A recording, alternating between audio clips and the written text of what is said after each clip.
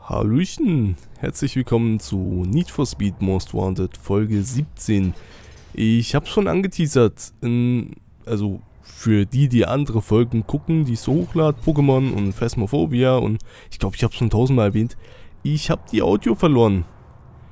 Das heißt, ich nehme das Ganze jetzt nachträglich auf. Ich nachvertone das. Ich werde jetzt auch nicht so tun, als ich bin so erschrocken. Äh, jo, wir gucken uns das einfach mal an und kommentieren das. Heute bin ich mal der Backseat Gamer. Und die Aufnahme ist über einen Monat jetzt. Also ich weiß auch gar nicht mehr, was passiert ist. Wir starten mit Rennen. Lustigerweise fährt da ein Lader mit. ein rosa, ne? Man sieht schon, der Kobalt, der ist schon zornig unterwegs mittlerweile mit den neuen Upgrades, ne? Kann vielleicht auch sein, weil ich es jetzt eine Weile nicht mehr gesehen habe und langsame Games spiele, dass die Geschwindigkeit natürlich more impressive wirkt. Die nächste Folge wird nicht so, nicht so lang dauern, by the way. Ich nehme die direkt heute mit auf. Ähm, jo. Die wird marginal länger dauern, weil ich mir wahrscheinlich fürs Finale dann nochmal irgendwie Mühe gebe mit einem Musiktrailer oder sonst was.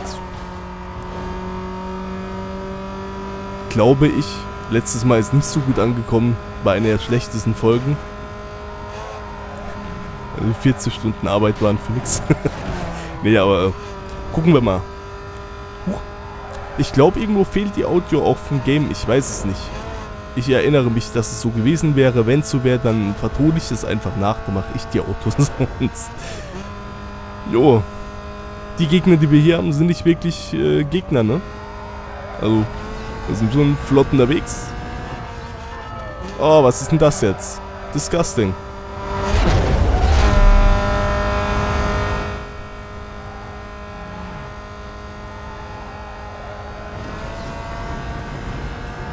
Mal hier mal. 365, 66. Und noch ein bisschen Luft nach oben. Vielleicht knacken wir die 370 irgendwann. Wir haben jetzt sechs Gänge. Ich weiß gar nicht, ob wir die in der letzten Folge schon hatten. Ich glaube. Aber jetzt haben wir auch die Power, die sechs Gänge auszufahren. Man merkt, das Handling ist jetzt das neue Bottleneck die ganze Zeit was umgekehrt. Da war Geschwindigkeit das Bottleneck oder der limitierende Faktor und Handling war ja, halt ein selbstverständliches Ding. Ist jetzt nicht mehr so. Gibt jetzt Kurven, wo man tatsächlich langsamer machen muss. oh, da war glaube ich direkt vorher Polizei bekommen. Nee? Okay, sah so aus wegen dem blauen Flash. Listen up, punk. You know who this is, so shut your mouth and open your ears. Now you're either helping the cops or someone you're hanging with is, and I don't, I don't care either way. But let's see how you like it when the tables are turned. Wenn du turns are tables. Okay, er vermutet, dass wir mit der Polizei... Oh, das war der blaue Flash. Wir haben jetzt fünf Fahndungsstufe. Damit hilft er uns eigentlich. Aber psch, nicht verraten.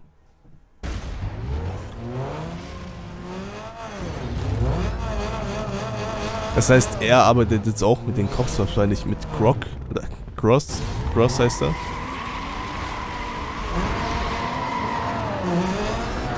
Wir schlawinern uns da einfach mal vorbei.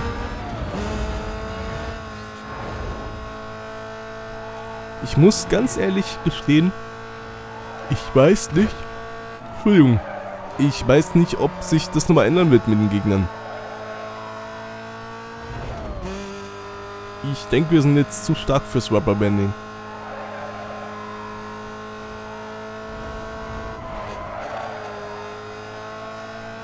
Wir haben noch ein Upgrade vor uns, das wird nochmal ordentlich was ausmachen. Aber gerade jetzt sind wir schon ziemlich overpowered.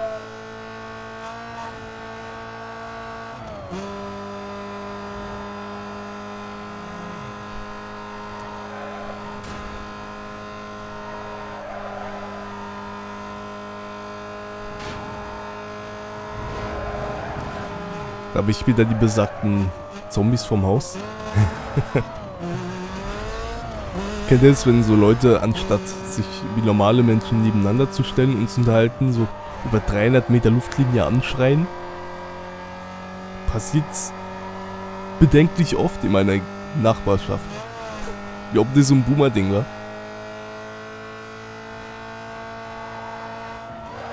Oh.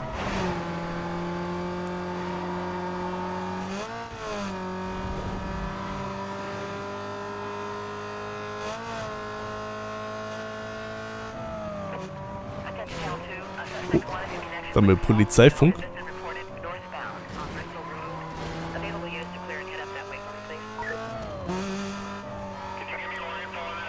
Also gerade jetzt so als Backseat-Gamer fühle ich mich ziemlich überlegen. Weiß nicht, ob ich jetzt gerade Angst vor der Polizei hätte. Aber das täuscht den Kobalt. Kobalt liegt schnell auf dem Dach, tatsächlich. Er ist nicht sehr schwer, was was Gutes ist, gerade für Handling. Es gibt schlimmere Autos wie der Lotus Elise. Ähm, aber er, die Größe täuscht. Uh, hui. Ohne Speedbreaker wären wir um das Nagelband nicht rumgekommen, da der Vergangenheitsblei auch ganz gut reagiert. ähm, das täuscht, weil das Auto so groß und breit ist, aber er ist gar nicht schwer. Das heißt, ja, sowas wie das hier reicht und dann bist du knocked out. Das war auch sehr glücklich, dass wir rausgekommen sind.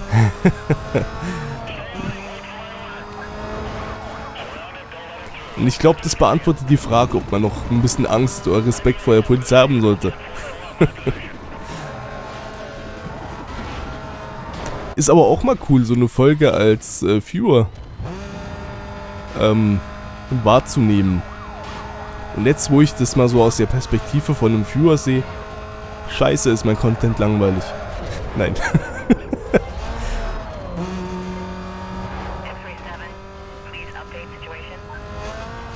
so, die Frage ist, nutzt, nutzen wir, nutzt der Herr Vergangenheitsblei auch die Chance, um ein paar Objectives zu machen? Hui. Ups. Der ist weg äh, um ein paar Objectives zu machen. Wird sich anbieten, aber ich weiß aus ziemlich zuverlässigen Quellen, dass sich der Herr Vergangenheitsblei auch in dem Sektor der Map marginal weniger auskennt als im ersten Gebiet. Ja, hagelt's aber SUVs auch. Ist ja ständig irgendwas. Ist auch was, das schwierig ist. Äh, Kobalt hat natürlich Anpressdruck ohne Ende. Das heißt, je schneller du bist, desto unverwundbarer bist du gegen aufs Dach liegen und so was. Aber gerade in solchen Gegenden, da hast du keine 300 km/h einfach mal aus dem Ärmel geschüttelt. Bist du halt auch gleich nochmal ein ganzes Stück verwundbarer. Da werden äh, Verfolgungsstopper gesammelt. Ich gehe davon aus, der Vergangenheitsblei will hier seine Ruhe haben einfach. Ein bisschen off guard gecatcht. Die Spikes hat man kaum gesehen. Selbst als Backseat-Gamer habe ich die nicht gesehen. Vielleicht werde ich alt. Man muss dazu sagen, ich gucke die Folge auch im Editierungsprogramm jetzt auf halber Größe. Kann vielleicht auch darin gelegen haben, aber es sieht echt so aus, als versuchen wir abzuhauen. Ich glaube, Bounty-technisch sind wir sogar fein. Kommt man da durch? Ich glaube nicht, ne? Nee. Bei 3 oder sowas vielleicht noch. Ich glaube 4 und 5 sind dazu aware. Der, der Radius, in dem du wieder gefunden wirst, ist auch, ich würde nicht sagen größer, ich glaube sensibler, die, die Detektion.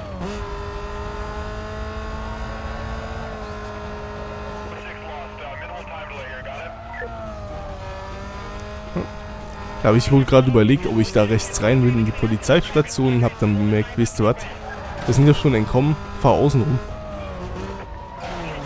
Nicht, dass wir einen Verfolgungsstopper mitnehmen. Man muss ja immer ein bisschen haushalten. Und guck mal, hat ja gut geklappt.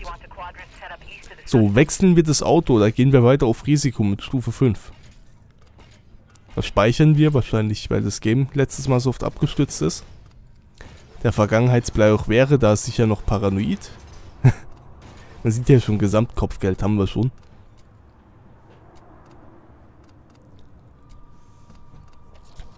Ui, guck mal, Rundkursrennen. Richtig lang. Ist hier dann R32 Skyline?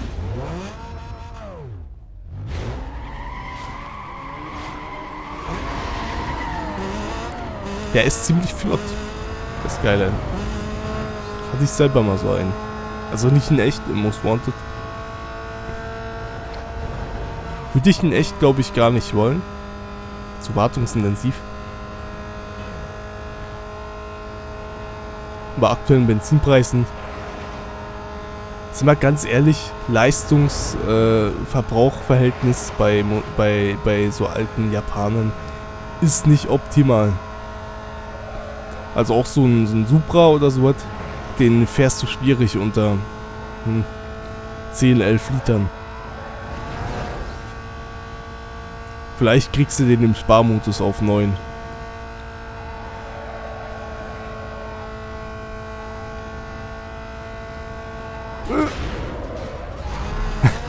Den hat man aber gesehen. Ich glaube, da war ich hin und her gerissen zwischen Undercutten und Overcutten. Also äh, in der Innenlinie vorbeiziehen und außen habe ich dann für die Mitte entschieden.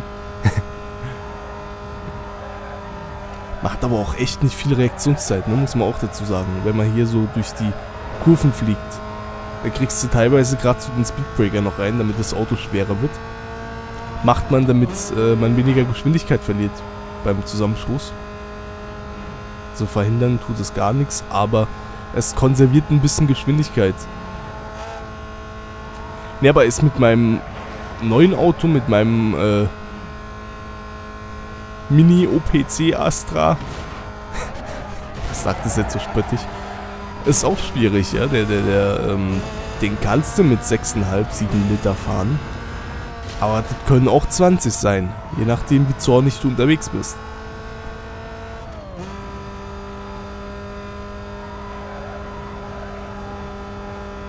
Werde ich demnächst rausfinden auf Nürburgring.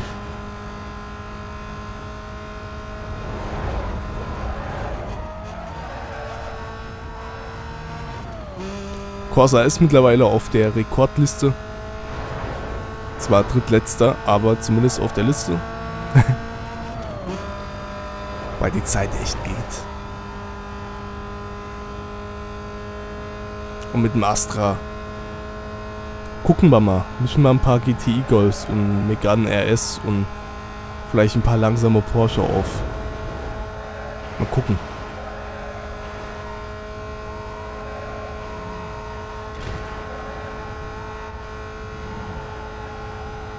Ich mag die Geräusche. Ich glaube, was mit dazu beiträgt, dass Most Wanted so ein exzellentes Geschwindigkeitsgefühl hat, sind die Geräusche. Man hört das wenn man an, an Bäumen und Brücken durchfährt und sowas. Man hört die Reifen quietschen, der Motor schreit in die Ohren. Die Straßen sind sehr schmal für Videogame-Straßen, ne? Also äh, normal sind die immer unrealistisch breit. Hier ist es actually schwierig, bei 180 exakt in der Spur zu bleiben. Wie es auch in echt wäre bei so schmalen Straßen. Gerade in der Kurve. Ähm, ich glaube, das trägt schon dazu bei, dass Most Wanted sich so schnell anfühlt. Hast wenig Spielraum für Fehler auch.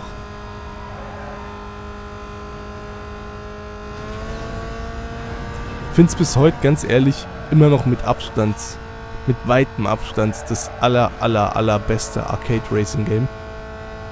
Arcade deshalb, weil es natürlich nicht sehr simulationslastig ist. Die Autos fahren sich authentisch, aber nicht realistisch. Soll auch nicht so sein, weil mit Arcade Racern will man immer eine möglichst breite ja, nicht breite Masse ansprechen, will man jedem geben. Ähm, möglichst niedrige Zugangshürde haben. Da, äh, Zugangsschwelle. Ja, also easy to learn, hard to master. Das ist so Arcade. Ich fahre auch gern Simulationen.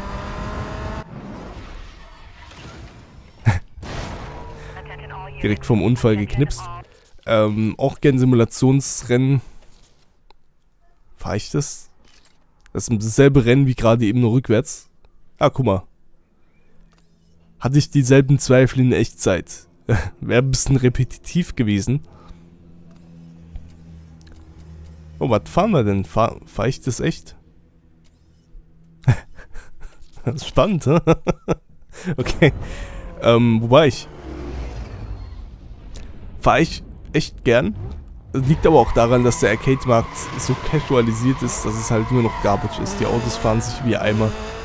Äh, dann hast du ständig für die Leute, die eine Aufmerksamkeitsspanne von, von drei Sekunden haben, irgendeinen Glitzerkram oder unrealistischen Kram, Pay-to-Win, Lootboxen und Online-Gameplay mit Explosionen und sonst was.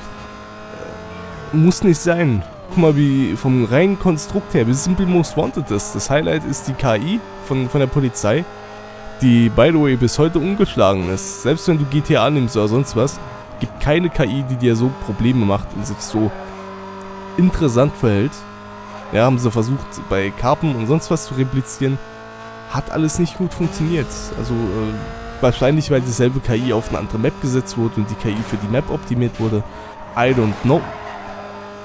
Aber ähm, das ist das Highlight und ansonsten hast du ein sehr simples Prinzip. Du gehst von Level zu Level, die Level sind deine ähm, Most Wanted Blacklist Gegner. Du fährst am Anfang den BMW, du kriegst einen Teaser, wie es ist, was halbwegs schnell ist zu haben. Und dann bist du stuck mit was langsam und dann hast du die Progression, du kletterst nach oben, Level für Level. Und dadurch hast du... Und dadurch hast du auch ähm, einfach das Gefühl, dass du immer stetig Fortschritte machst mit deinem Auto, was äh, schneller wird und krasser modifiziert, wenn man drauf steht. Ähm, deine Gegner werden anspruchsvoller, die Polizei, alles wird intensiver. Es ist ein kompletter Ramp-up von Anfang bis Ende. Einzige, wo ein bisschen schleppend sein kann, ist wirklich das Midgame, wo die Routine einsetzt weil da einfach auch ein bisschen die Cutscenes fehlen. Da hätte man vielleicht so ein bisschen mehr Story-Aspekte reinpacken können, um das abzufedern. Das war völlig unvermeidbar. In ist definitiv nicht gegangen, außen Ben in die Wand rein. War in dem Fall wirklich die beste Entscheidung, den frontal zu nehmen mit Speedbreaker. Und, ähm, jo, und, und dadurch hast du halt so einen permanenten Ramp-up. Und wenn, wenn, wenn das mini, mini, mini Loch in der, das ist wirklich eine 2 Stunden Game Time von, ich schätze, casually 15, 16, wenn du es drauf anlegst. 10, wenn du schnell bist. Also wenn du wirklich das Game kennst und durchrushst. Ähm, da hast du vielleicht 2 Stunden Game Time, die ein bisschen drag sind. Ansonsten ist das Game absolut flawless. Meiner Meinung nach. Ja, auch das Worldbuilding. Guck dir an, wie die Stadt aufgebaut ist. Die Stadt ist basically eine Rennstrecke. Die haben sich zuerst Gedanken gemacht, ich hätte außen rumfahren können. äh, komische Entscheidung. Ähm, ja, man, man, hat sich Gedanken gemacht, wo hast du schöne Racelines und guck mal die Elevations, Kleinigkeiten, wie sich die Straßen nach links und rechts wobbeln. Hier die kleinen Höhenunterschiede, Schlaglöcher, sonst was. Guck mal, hier geht's wieder leicht berg, berghoch. Äh, dann hast du so Schrauben und Huppels und Sprünge und sonst was, was gar keinen Sinn macht vom Layout, aber es ist einfach da, weil es für, für gutes Racing sorgt. Und das ist auch was, was Most Wanted so ausmacht. Guck mal hier jetzt der Huppel. Und jetzt die Senke in die Kurve, die nach außen abfällt. Was du beim Fahren merkst wirklich. Hier die kleinen Huppel, die das Auto instabil machen, wenn du ein Auto hast, das schlecht handelt.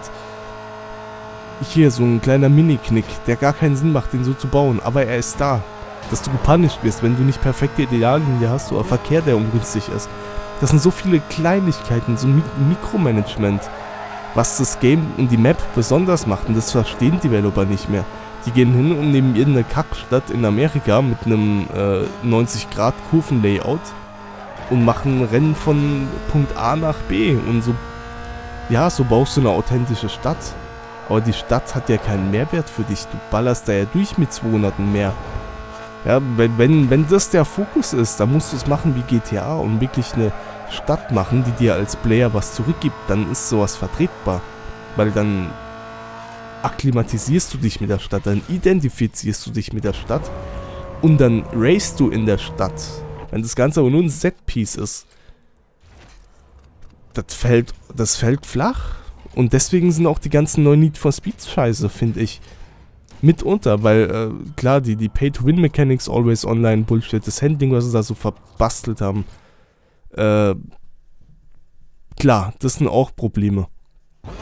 Aber es macht halt auch einfach keinen Spaß, da Rennen zu fahren. Und wenn, wenn das, was du zu 90% machst, wenn deine Core-Mechanik keinen Spaß macht, schwierig. Gibt so eine goldene Regel im Game Design. 30 Sekunden.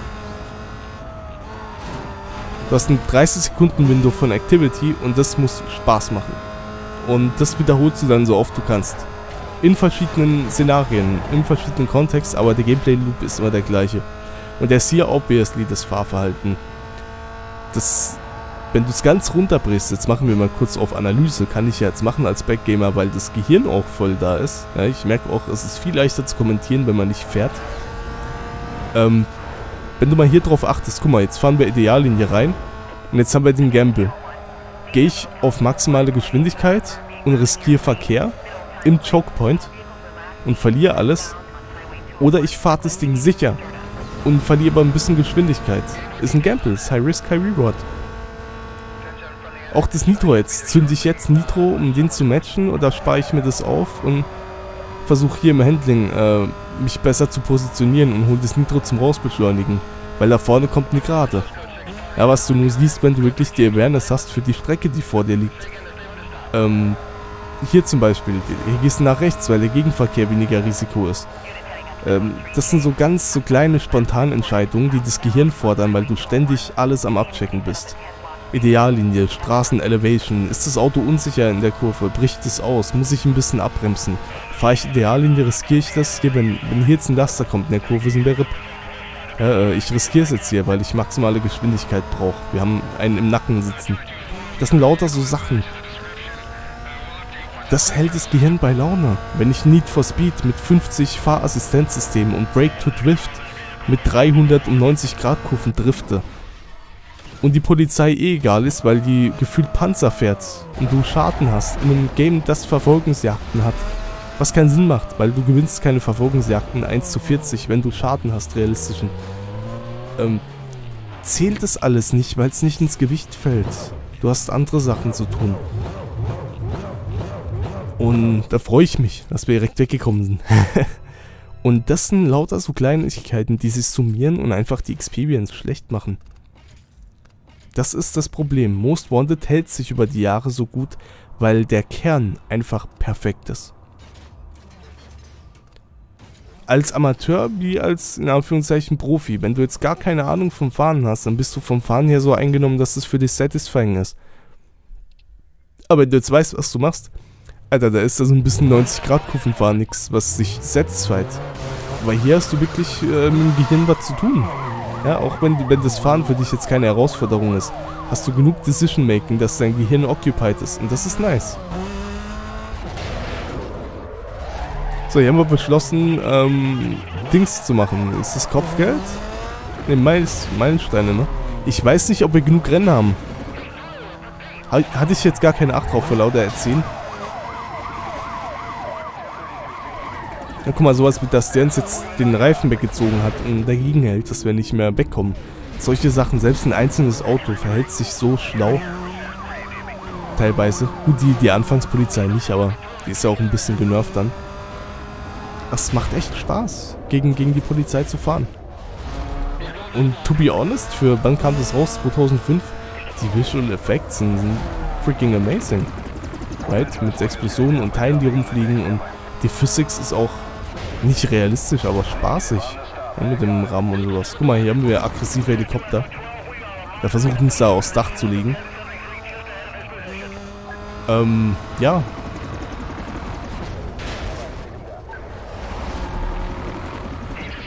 Ich glaube, deswegen hält sich das. Und dann die Musik auch, wenn ihr mal auf die Soundtracks achtet bei den Verfolgungsjagden. Das ist großartig. Die haben einfach so viel richtig gemacht. Auch der generelle Soundtrack ist nice. Habe ich natürlich deaktiviert wegen Copyright, Gedöns in YouTube und sonst was. Aber, ähm... Guck mal, der fliegt in die Stratosphäre. Ähm, ich glaube, dass, dass ganz viele Entwickler da so ein bisschen Identitätskrise haben mit sich selber. Hin und her gerissen zwischen Finanzierungsmöglichkeiten, Micropayments, Online-Zwang, äh, Konsolen-Kitties bedienen und halt äh, irgendwelchen Gameplay-Konzepten, die dann von, von Schlipsträgern so zerpflückt werden, dass nichts mehr übrig ist danach. Das ist, glaube ich, auch relativ frustrierend und ist einer der Gründe, warum ich nie in so einem Designberuf sein wollte.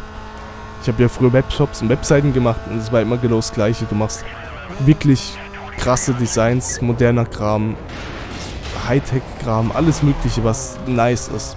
Wo, wo eigentlich jeder ein bisschen Ahnung hat, denkt, Alter, die haben eigentlich eine Webseite, die 40.000 kostet.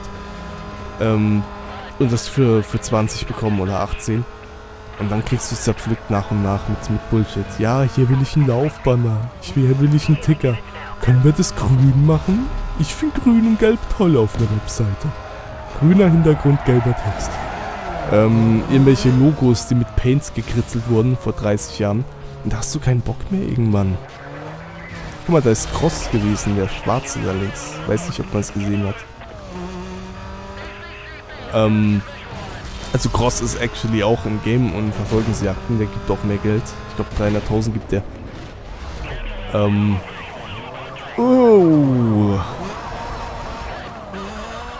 Da habe ich das SUV nicht gesehen, dass es da mitfährt. Ähm, und das macht es einfach madig, right? Wenn du immer on purpose underperformen musst. Und deswegen stelle ich mir auch Game-Industrie sehr frustrierend vor. Meine Fresse war das dämlich. Da haben wir die Mauer mitgenommen und sind glücklicherweise in die Lücke geflogen, wo der eine Kopf den SUV angebelt hat. Sonst wären wir zum, zum Stillstand gekommen. ob, ob, ob das fatal gewesen wäre? Möglich. Drei Autos auf dem Gras dreht er durch ohne Ende. Werden rückwärts rausgemusst. Aber das war lucky. Weiß nicht, ob mir das damals so aufgefallen ist.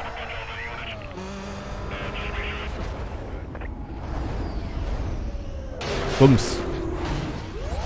Naja. Egal, genug ge... ge ähm, wie sagt man? Gerantet. Deswegen, ich bin froh, dass es noch da ist. Und die Zeit wird zeigen. Sachen wie Most Wanted und Skyrim, die werden auf ewig leben. Die wird man in 20 Jahren noch spielen. Natürlich nicht in der Masse wie jetzt modernen Games, aber es gibt einfach Core-Konzepte. Wenn die fun die überstehen sämtliche Generationen und Konsolen und sonst was. Musst du nicht nur Racing. Nimm Minecraft. Nimm Pokémon. Alle großen Dinge funktionieren nach dem Prinzip. Technisch gesehen MMOs auch, in RPGs mit Quests und sowas. Aber das ist schwierig, weil ähm, da kommt Zeitcommitments mit dazu, was wirklich ein Faktor ist, ein limitierender. Und für Online-Games halt die Communities, ne? Also da würde ich sagen, dass selbst großartige Games da nicht, äh, nicht safe sind. Weil die Rahmenparameter halt wirklich so viel Impact haben, was du hier nicht hast. So, wir haben noch äh, Dings, Meilensteine zu machen, ne? Ich glaube, die Rennen haben wir.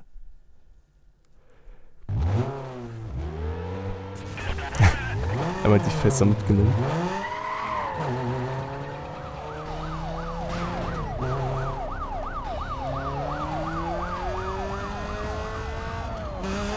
Kommst.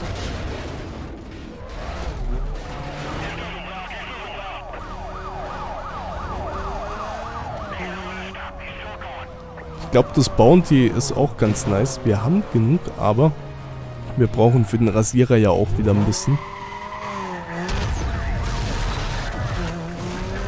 Ist, glaube ich, gar nicht verkehrt, wenn wir da ein bisschen Puffer aufbauen. Ich habe teilweise das Gefühl, dass die Fünfer in manchen Situationen leichter sind als die Vierer, weil die Corvettes, die sind leichter tatsächlich als die äh, schwarzen wie heißen die? GTOs? Pontiac GTOs?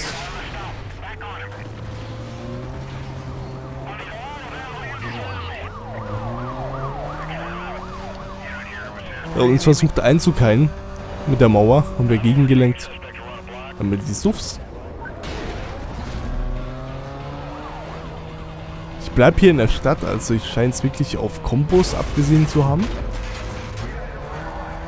Man kriegt Combo Bounty, wenn man äh, mehrere gleichzeitig zerstört.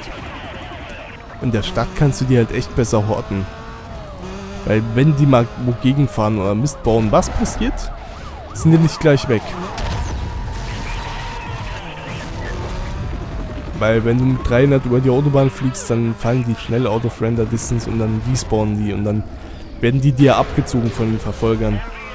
Was okay ist, weil du willst sie ja auch äh, durch Geschwindigkeiten sowas abhängen können. Also rein von der Mechanik her nice, manchmal aber ungünstig. Jetzt haben wir einen Batzen hinten dran, ne?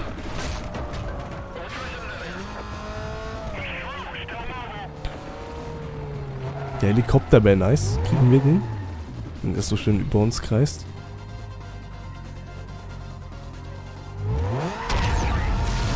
Ja, haben wir bekommen. Tatsache.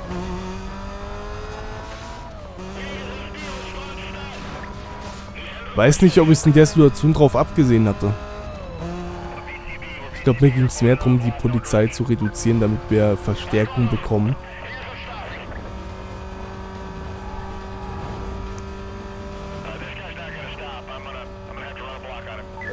Hier ist auch so, wenn du so eine Kurve SUVs kriegst, hast du echt nichts zu lachen. Kommen dann wie so eine rollende Mauer auf dich zu. So, frühzeitig langsam machen, dass sie nicht vorbeischießen. Guck mal, da ist Cross, das Schwarze. Da habe ich wohl versucht langsam zu machen, um den da noch mit reinzufädeln. Keine Ahnung, ob er reinfährt. Ah ja, guck mal, Cross, 300 Combo Bounty. Da haben wir den, den Cross zerstört. Kommen wir da durch? Wild. Finde ich auch cool, dass die Drops Collision haben, nachdem sie kaputt sind. Ist nice weil es dann wirklich die Umwelt ein bisschen verändert, kann aber auch Nachteile haben, weil du selber äh, feststecken kannst, wenn so ein Donut auf dein Auto fällt. Und ähm, wenn du dann noch in irgendeiner Form Polizei an der, selbst wenn die 300 Meter weg ist und du resettest manuell, bist du direkt bastard. Und ob dich das Game dann resettet, da hast du nicht mal einen Einfluss drauf. So, wir farmen Sachschaden. Und Verfolgungsdauer. Ich weiß nicht, ob... Ui. Es war unglücklich. Ich weiß nicht, ob die Straßensperren realistisch sind. Das Kopfgeld wert sind. Um genau zu sein.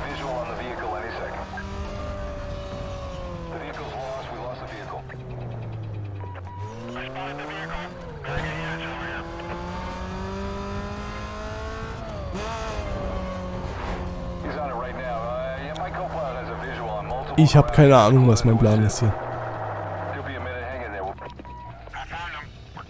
Hänge ich den mit Absicht ab, um den, den Timer, den Backup-Timer hochzuhalten? Sieht fast so aus, ne? Interesting. Ja, wir brauchen ja noch... Oh, kann vielleicht sein, dass ich mir sagt, den Sachschaden kriege ich in der Straßensperre noch hin. Und die Zeit läuft ja hoch, auch wenn wir nur einen haben. Wird Sinn machen, dann ist das Entkommen leichter.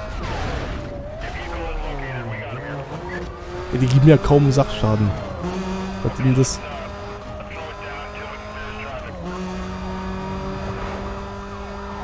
Aber der Ansatz wird natürlich Sinn machen. Wenn es denn so wäre. In Klammern.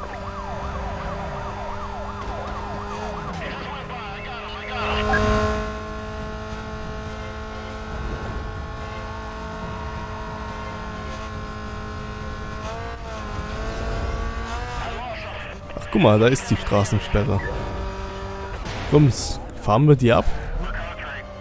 Die fahren wir ab. Gut, dann haben wir es richtig predicted. Dann war das der Plan. Guck mal, 200.000, bam.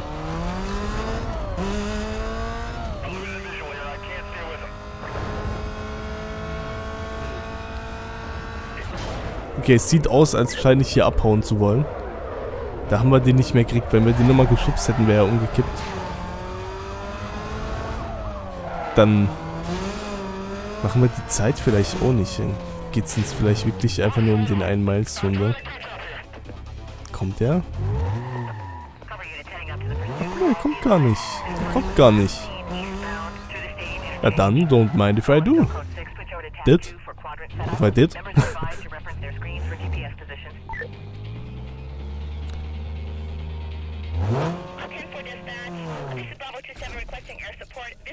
Wow. Toru. Alright, this is it. Number two on the blacklist is up for grabs. Toru's waiting for your call. Chump's driving a McLaren. Need to say more? Smoke him out fast. McLaren. Könnte scary sein, aber ich habe so ein Gefühl, wir sind fein mit dem Kobalt.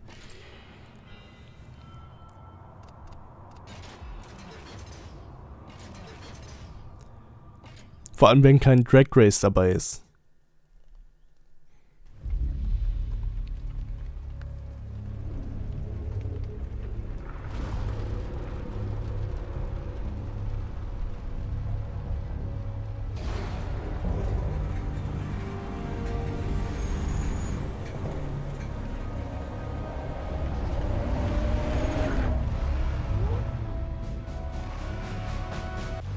Bin ich mal gespannt. Keine Ahnung, wie es gelaufen ist.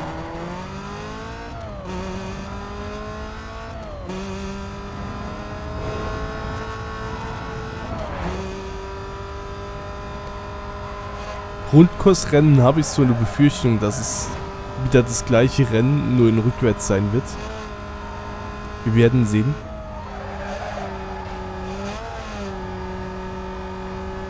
Sieht man nicht so aus. Hui, den habe ich selbst als Backseat-Gamer nicht gesehen.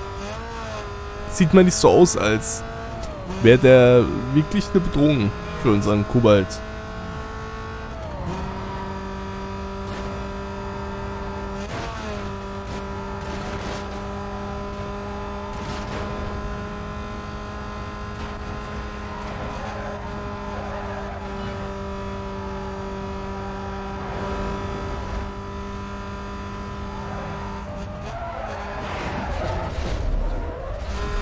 Glaube, der zweite Speedbreaker war, um das Auto abzufangen.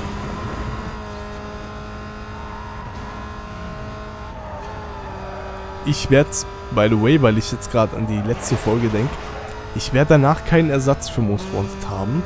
Äh, ich werde dann primär Pokémon machen. Erstmal. Äh, und ab und zu was mit Taomos. Wir haben da auch ein Koop-Game im Auge. By the way, Phasmophobia war mitunter das schlechteste Video bis jetzt. also ich weiß nicht, ob der Release-Zeitpunkt ungünstig war oder ob es einfach niemanden interessiert hat. Aber überraschend. Hätte ich nicht gedacht. Ähm, jo. Also ab dann erstmal Pokémon und dann gucken wir, was wir noch machen. Weil ich dann erstmal ein bisschen intensiver Pokémon machen werde. Dass sich die Let's Plays nicht wie Most Wanted über, über ein Jahr ziehen oder sowas.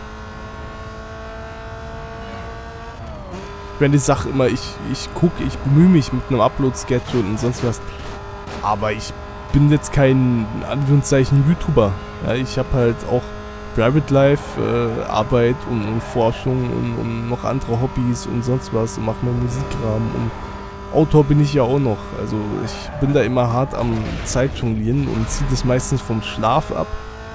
Und ganz ehrlich, so unter uns beiden, da merke ich langsam, ich weiß, ich sag's oft, aber da merke ich langsam, dass ich älter werde. Ich, ich komme nicht mehr mit drei Stunden Schlaf die Nacht aus auf Dauer. Ja, das ist schwierig, ich muss mir irgendwo Abstriche machen. So, so vier, fünf brauche ich schon mittlerweile. Und die zwei Stunden, die fehlen. Das war ein bisschen optimistisch, da das Auto rumzureißen, gebe ich zu.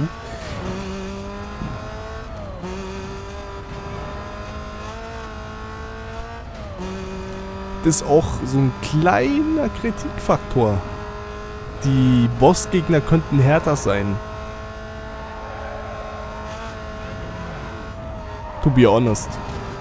Es sind ein paar dabei, wie Rubberband Earl und sowas, die wirklich Probleme machen.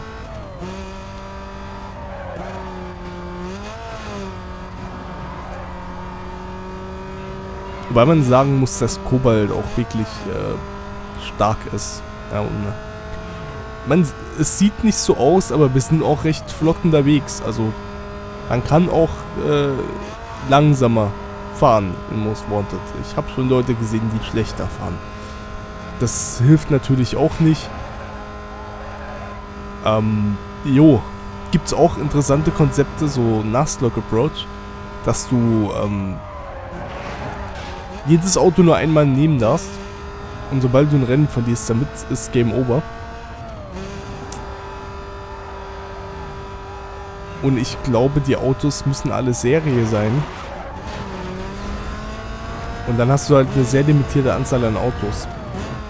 Und je höher du kommst im Late Game, desto stärker und, potenter werden die Autos, aber desto höher sind auch die Stakes, weil ja die Autos ausgehen. Und dann hast du immer so Sachen wie äh, ähm, Drag Races und sowas, wo es halt einfach random ist, wo du dann auch mal ein Auto verlieren kannst. Wäre auch interessant, weiß aber nicht, ob das interessant zuzuschauen ist.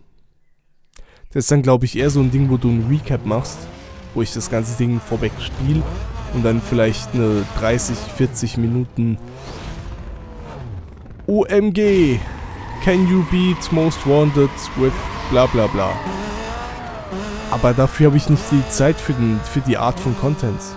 Weil dann habe ich wirklich im besten Fall jeden Monat, alle zwei Monate ein Video.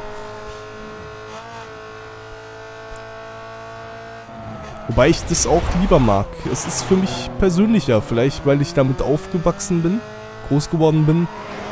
Mit ähm, Gronk und Co. Ja, also ich war, glaube ich, gerade mal... Lass mich lügen. Nee, ich muss nicht lügen. Ich kann es berechnen. Ähm... Okay, ich brauche kurz. 8, 14, 14 war ich doch schon so alt. Ich war gerade mal 15, als die erste Folge Minecraft von, von Gronk kam. 2008 war das, glaube ich. Äh, mit der Let's Show Welt. Auf Gronk TV noch. Weiß nicht, ob man das noch kennt. Oder ob es es noch gibt. Wahrscheinlich gibt es es noch. Keine Ahnung. Huch, das war knapp mit dem Pickup da. Ähm, ja, aber vielleicht ist es für mich deswegen intimer. Ich mag das. Ähm, ich habe die Audienz nicht dafür zwingt, so mit Feedback und so zu arbeiten. Ähm, also, klar, kann man trotzdem machen. Feedback ist meistens nicht, äh, nicht ähm, signifikant genug für sowas. Wobei ich sagen muss, ich bin froh um die Audienz, die ich habe. Und die Leute, die wirklich regelmäßig gucken. Und selbst wenn das nur eine Person ist, ist das schon genug freue ich mich auch. Ähm, aber so jetzt eine Umfrage zu machen oder sonst was, also ein interaktives Let's Play oder sowas oder Livestream, schwierig, ja. Ähm. Aber klar, relatable. Mein Content ist halt auch ein bisschen oldschool, probably. Meine Qualität ist wahrscheinlich nicht äh, das Nonplusultra. Ich meine, für meine Mittel, die ich habe, ähm, kann ich mehr Qualität nicht bieten. Ich nehme schon in 4K auf. Ich habe schon das große Studio-Mic mit Interface hinten dran und allem. Aber hm, jetzt mit, mit, äh, mit 4K Kamera noch arbeiten und sonst was und das alles parallel und dann noch streamen in, am besten in Full HD kriege ich nicht hin von der Qualität, ja, und auch von der Zeit her nicht, weil das ist dann Content, das musst du vorbereiten, das musst du skripten, das musst du richtig hart editieren alles kriege ich nicht hin.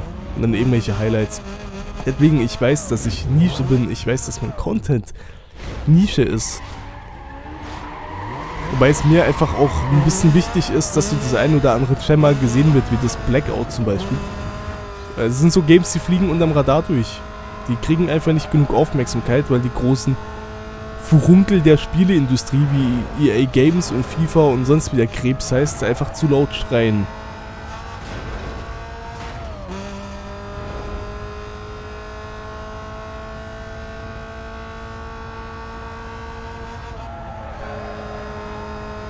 Ja, deswegen ist mir bewusst, dass ich keine riesen Audienz von 1000 Leuten habe.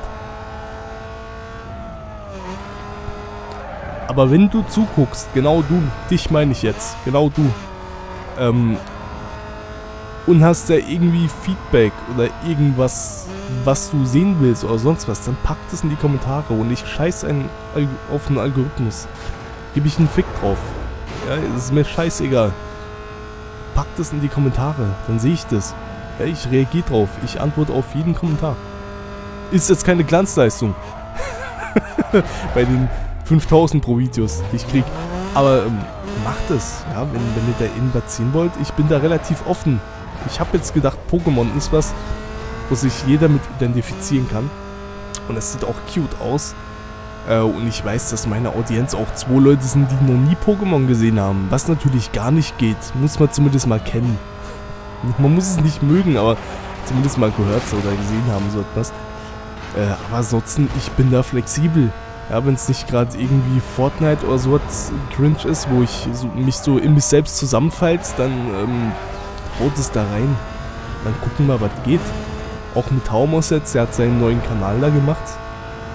Ähm, der macht's auch nicht für die Kohle, ne? Ähm, der verdient auch genug, der Taumos. Der macht es zum Spaß. Und der ist da genauso offen für alles. Wenn ihr da bei Taumos irgendwie was äh, jammern wollt oder was, dann jammert ja. Der, der liest es, der hört es. Und äh, vielleicht macht er dann was, ja. Wenn, du sagst, du, äh, Taumos, ich will sehen, wie du in GTA Online fünfjährige Kinder farmst, bis sie losheulen und Rage quitten, dann macht er das, glaube ich. ja. Immer rein damit. Ja, es ist mittlerweile so ein Krebs, man, man schämt sich fast, fast schon so was zu sagen, weil mittlerweile so gecringed wird mit hinterlasst eine Glocke und schreibt einen Kommentar für den Algorithmus. Ist mir aber scheißegal, Alter. Mir ist es doch so Latte, ob ich 1000 Abonnenten habe oder 10. Heißt nicht, dass ich die, die ich habe, nicht appreciate. Sag nur, mir kommt es nicht auf, auf, mir ist Quality over Quantity, ja. Und die Leute, die jetzt da sind, Quality. Ich habe relativ hohe Blähzeiten. Ja, auf die Menge, die ich habe. Also die Leute, die abonniert sind, die konsumieren den Content auch. Von daher will ich gar nicht jammern. Bin ich froh drum. Guck mal, das war gerade schon der Toro. War jetzt nicht so beeindruckend, ne? Aber macht ja nichts. Ach, guck mal, Tupo. Der kommt in den Kobalt.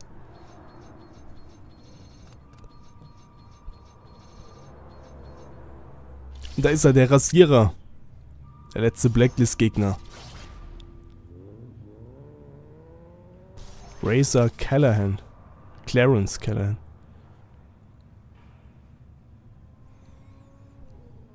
Er hat sich mit unserem Auto an die Spitze der Blacklist schlawinert. Und er treibt seine Psychospielchen. Wir können ihm nicht vertrauen. Wissen wir aber. Das nächste Mal gucken wir unter das Auto vor der Stadt, bevor wir losfahren. Weil ich mich da auch frage, wie kann dir jemand unbemerkt die Bremsleitung durchschneiden? Oder sowas. Oder Benzinleitung.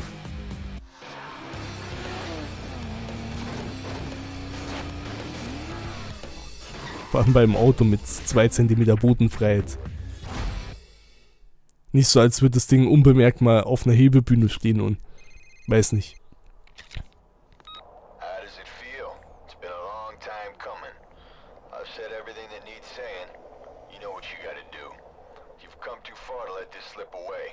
Da wird der emotional, der Rod. Jo, das war's. Geht Richtung Finale. Nächstes Mal wieder mit Live-Kommentation, nicht nachträglich. Aber ging jetzt nicht anders. Hab lange überlegt, wie ich es mache, ob ich es komplett neu aufnehme, aber ja, wir haben es jetzt so gemacht. Nächstes Mal wird es wieder wie gewohnt im alten Stil. Ja, ich denke, das ist gar nicht mehr so viel Arbeit. Kriegen wir alle hin. Ich bedanke mich fürs Zuschauen. Bis zur nächsten und zur letzten Folge Need for Speed Most Wanted.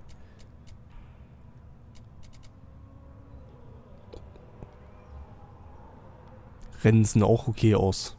Bis zum nächsten Mal. Tschüssi.